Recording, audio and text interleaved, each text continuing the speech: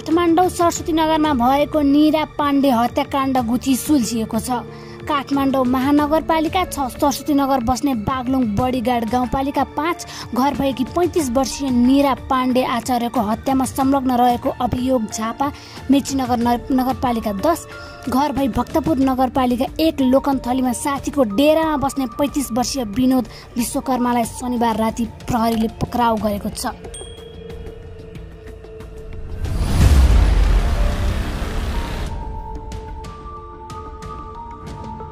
काठमाडौँ महानगरपालिका छ। सरस्वती नगर स्थित Niru kitchen and gift spinner पसलमा वैशाख सात गते दिउँसो आचार्यको शरीरमा विभिन्न भागहरूमा धारिलो हतियार प्रयोग गरी घाइते बनाएको अवस्थामा फेला पारी उपचारको लागि त्रिवी शिक्षण अस्पताल लगेकोमा उपचारको क्रममा मृत्यु भएको थियो।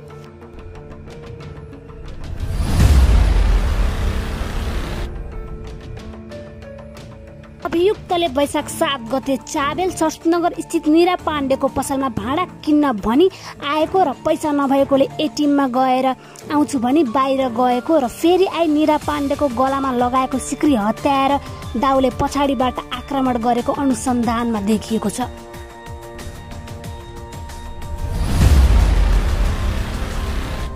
घटनाको थप अनुसन्धान गर्ने क्रममा केन्द्रीय अनुसन्धान ब्युरो जिल्ला प्रहरी परिसर काठमाडौँ र काठमाडौँ उपत्यका अपराध अनुसन्धान कार्यालयबाट खटिएको संयुक्त प्रहरी टोलीले खोजी गर्दै जाने क्रममा प्रहरीले घटनामा संलग्न उनीहरूलाई जिल्ला प्रहरी कार्यालय झापाको समन्वयमा झापा बिर्तामोट नगरपालिका एक इलाम बस स्टप सार्वजनिक बाटोमा हिँडिरहेको अवस्थामा फेला पारी पक्राउ गरेको हो भने थप अनुसन्धान भइरहेको प्रहरीले जनाएको छ।